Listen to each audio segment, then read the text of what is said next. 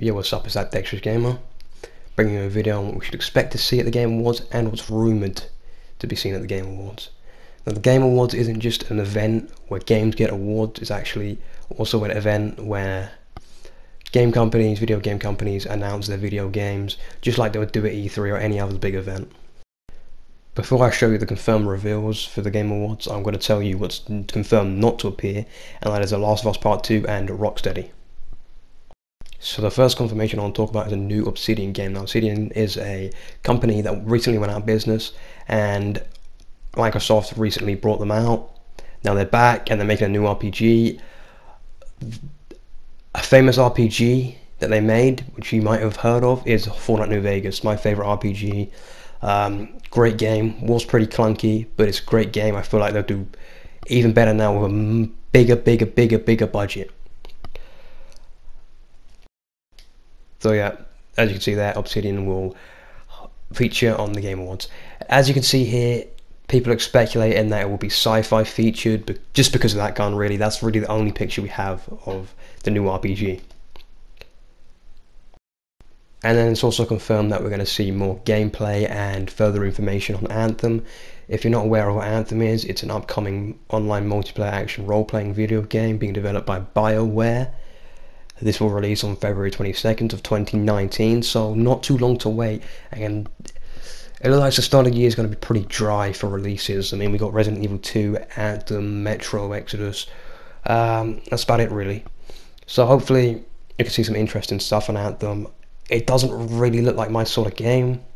A lot of people are saying it's similar to Destiny. It's going to be kind of like a third-person version, but I can't agree with that. I don't. I've never really played Destiny. That's that's the reason why. So then it looks like we're going to see the exact same with Rage 2. It looks like we're going to see some new information on the game, a new trailer with a lot of new cool things to see. But hopefully, hopefully what we see with Rage 2 is some gameplay because I'm pretty sure we're yet to see some actual full-on gameplay. But I'm sure that will excite many of you. For me, not too much. Rage 1 was, in my opinion, okay, but who knows. This is the second one. Then lastly, the last confirmation we have is Devil May Cry 5. I have never played a Devil May Cry game. I have really no idea what it is, except that it's an upcoming action-adventure game, which will be released on 8th of March 2019. And it's developed by Capcom who are obviously popular developers. Um, but if you like Devil May Cry, then you should be excited for this. Anyway, it's time to get to the rumours, the rumour roundup.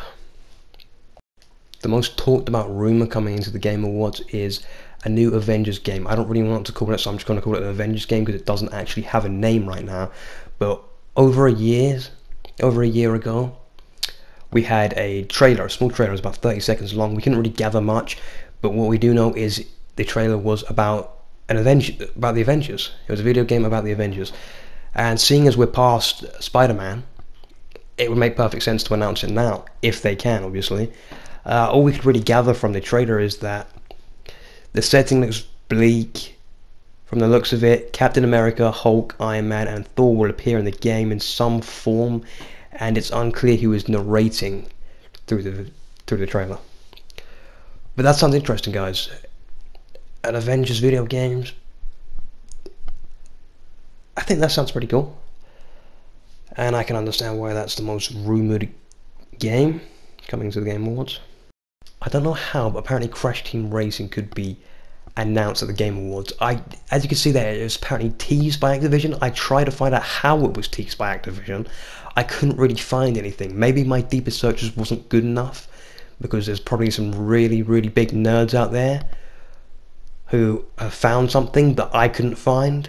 I mean, thank you if you did, but I couldn't find anything. So I, I think this is the most unlikely rumor. But then again, I could definitely be wrong. I'm not. I haven't done a lot of research on it. I've done about 10, 15 minutes. I couldn't really find much. Um, then we have Mortal Kombat XI, which is XI is 14, I believe, in the Greek alphabet. So that could be happening. I'm not really a huge fan of the Mortal Kombat games. the uh, hacking and slashing combat does look satisfying, but it's always a game I think, should I get, should I get? Then I just don't. There seems to be a lot of games in that genre, that hack and slashing 2D fighting genre. There seems to be quite a lot of them going around. A lot of the Japanese companies do it. Um, Injustice is also a popular one. Uh, that's just off the top of my head as well, but there's probably a lot more. Um, so yeah, I know Mortal Kombat is a very popular franchise, and people will be excited for that. So, um, again, just a rumor, could not be true, but gives you something to uh, to think about. Metroid Prime Trilogy, if you're a fan of Nintendo, you know what that is. That could be remastered, just like Crash Team Racing. Uh, mainly because Metroid Prime 4 could be coming out, and people are saying that um, the trilogy before that could be remastered. It, it makes sense. I mean, it, it, that could happen. I'm not doubting that. That could definitely happen. Uh, I'm not really a fan of Nintendo games, but yeah, that could happen. And then we've got Alien Blackout. Alien Blackout looks like a spin-off or a sequel to the Alien franchise. Excuse me. Yeah, which again, if you're a fan of that, you should be excited. But that about wraps it up. That's about all the rumors I could find. Also, if you're not aware when the Game Awards takes place, it's on the 6th of December. The 6th of December 2018, um, 8.30 p.m. Eastern, 5.30 p.m. Pacific, and it will be broadcasted on YouTube and Twitch, I believe. And peace.